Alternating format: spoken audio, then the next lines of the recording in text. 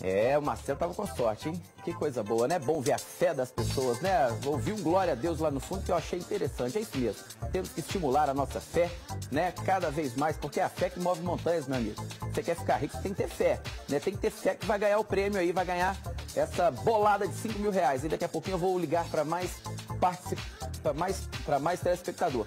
Meio-dia e 35. O transporte público em Belo Horizonte ficará mais caro a partir do próximo domingo, 30 de dezembro. A passagem de ônibus convencional e do MOV, que custava R$ 4,05, vai passar para R$ 4,50, um aumento de 11%. Alerta que eu coloco agora na sua tela.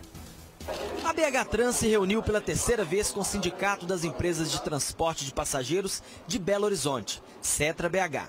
O objetivo foi definir o valor da tarifa do transporte de ônibus na capital.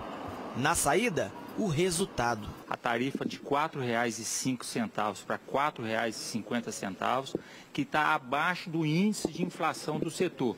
Só lembrando, todo mundo acompanhou a greve de caminhoneiros, só o ano passado o diesel subiu mais de 25%. A gente vai receber essa tarifa agora de R$ 4,50 é, mas, com, com, mas o, ela não resolve o problema do sistema, o desequilíbrio é muito grave e a gente a partir de janeiro, nossa, nosso pedido foi que a partir de janeiro a gente debruce em cima da auditoria para a gente ver o que, que a gente pode fazer para voltar ao equilíbrio do contrato. Durante esse mês de janeiro eles têm que contratar novos 500 cobradores e, e no primeiro quadrimestre do ano renovar é, 300 veículos novos com ar-condicionado. E o cidadão que se prepare, porque a partir do próximo domingo a passagem vai aumentar.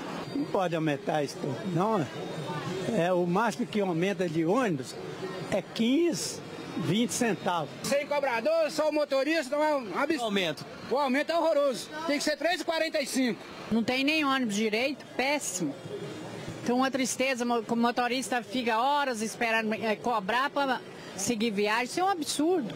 Já a tarifa dos ônibus que atendem vilas e favelas vai passar de 90 centavos para um real. Circular e alimentadoras passarão de R$ 2,85 para R$ 3,15. E o táxi lotação, que custava R$ 4,45, passam para R$ 5,00. Um reajuste de 11%. Ele foi mexer nessa caixa preta e o negócio piorou, rapaz. A situação ficou ainda mais preta. Ficou mais preta ainda, com toda certeza. A voz do povo é a voz de Deus, né? Eu prefiro ficar com a opinião da população, né? Porque são os usuários, é quem utiliza o transporte público. E se eles estão falando, né? Eu quero a sua participação aqui no Facebook. Eu quero que você mande aqui a sua opinião. E aí, meu amigo, está satisfeito? Porque conversava mais cedo com o nosso chefão aqui, o Ricardo Carlini, e nós temos que buscar exatamente o que pode facilitar a vida do cidadão. Né? Nós queremos aqui apontar soluções que facilitem a vida das pessoas. Se por um lado 4,50 também está desagradando, né, esse aumento para 4,50, por outro lado, né, o que se esperava aí de seis e tanto de aumento não aconteceu. Né? Então, pelo menos é, entre seis e tanto e 4,50, a gente fica com os 4,50. Agora precisamos fiscalizar esses ônibus novos, né? 300 ônibus novos no próximo quadrimestre do ano que vem. Além disso, a contratação de 500 cobradores, né? Porque também os ônibus estão rodando sem cobradores e isso é mais um dificultador, é o que atrapalha a vida do cidadão. Porque o motorista tem que ficar parado no ponto, contando, dando troco, e isso aí atrasa a viagem. E o que tem, a, as pessoas têm falado exatamente isso.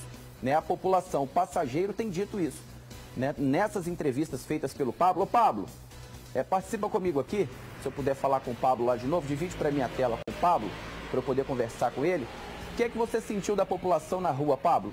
Pois é, a sensação é de indignação. As pessoas, pela atual qualidade dos coletivos hoje, é inaceitável o aumento. A sensação dos usuários são essa, né? Que tende aí um ônibus mais lento nas viagens, o motorista está mais, com mais trabalho ali para fazer, complica de todo lado. Então a sensação dos usuários é de muito prejuízo nesse momento, né, Rafa? Tá certo então, é o que você percebeu na rua, né? Sim. Então eu fico com a voz da população, eu estou do lado aqui da população. Precisamos defender né? O bem-estar da população é para isso que nós estamos aqui, para facilitar a vida do cidadão. Aqui o Rafael Braga está me perguntando aqui, olha, no Facebook, participa lá, viu? Participa, entra no facebook.com barra Alerta, dá o like, compartilha, manda a sua mensagem.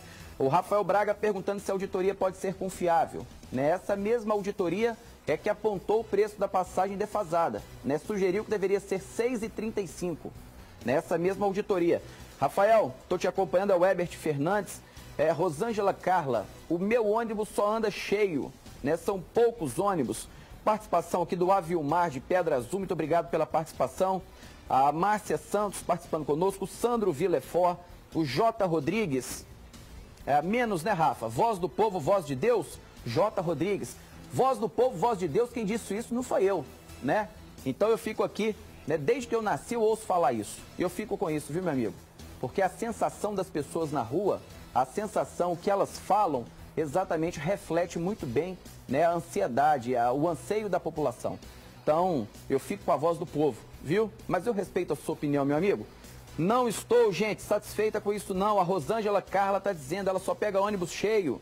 Essas empresas de ônibus estão com goteiras e baratas. Está dizendo aqui o DJ Felipe, nós mostramos isso aqui, né, no Alterosa Alerta, uma denúncia de um ônibus que estava rodando infestado de baratas. Vocês se lembram disso, né? Meio-dia 41, bombeiros buscam por um homem que desapareceu depois de ser arrastado pela enxurrada. Depois do. Foi durante o temporal, gente, na noite.